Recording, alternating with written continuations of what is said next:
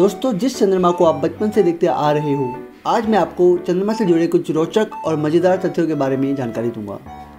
पृथ्वी से चंद्रमा की दूरी कितनी है? पृथ्वी और चंद्रमा के बीच की दूरी क्या है?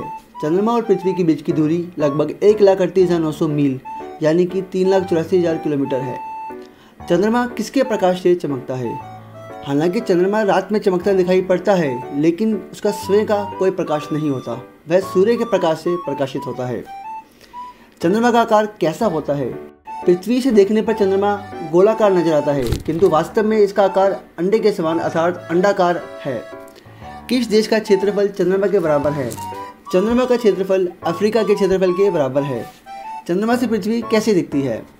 चंद्रमा की सतह से पृथ्वी को देखने पर यह अपने मूल आकार से चार गुना अधिक बड़ी दिखाई देती है।